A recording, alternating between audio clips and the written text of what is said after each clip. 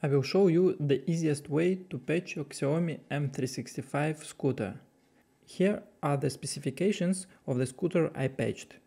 The serial number of the scooter is highlighted.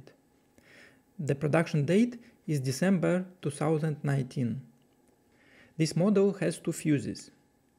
To check characteristics of your scooter, you can download an application called M365 Tools from Google Play Store. This application is quite useful. It works on all Xiaomi electric scooter models. You can check the current speed with this application. It will give you the total mileage the scooter passed from the date of purchase. In my case, it is already more than 1500 kilometers. You can set here the cruise control, which is a useful option. The battery details are also there. You can change the name of your scooter to whatever you want in this application.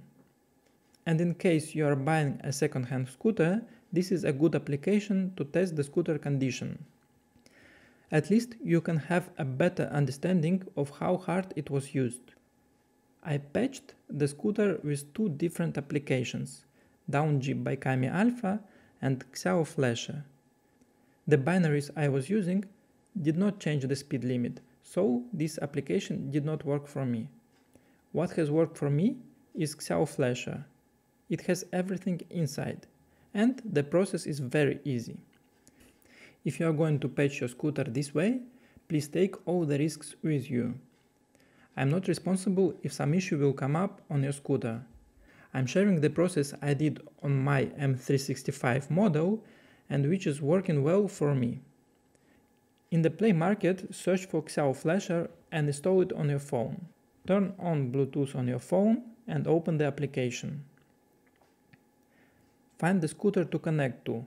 My scooter name is Andy. Press the CFW full speed button. Automatically, the selected file will be updated. Press the flash selected zip file button. It will ask for an optional contribution. You can select I don't want to contribute. The process will start. It will take around a minute to finish. Don't turn off anything during the process. It is very crucial to stay connected throughout all the process during upgrade. Once it is finished, you can restart the scooter. After the patch, the scooter should have three speed limit modes. Up to 15 km per hour, up to 23 km per hour, and up to 27 km per hour. And this is a test on the same scooter. On the left side the original software without any modifications and on the right side after applying the patch with Xiao Flash application. The overall difference in speed from the original is 2 km per hour. Is not that much, but clearly it's faster. Also I patched two different scooters with this application and both of the scooters have slight differences from the original software. When the scooter is riding and once I push the throttle, I feel that the scooter slows down for a couple of milliseconds and then it accelerates as usual. Thank you guys for watching, bye.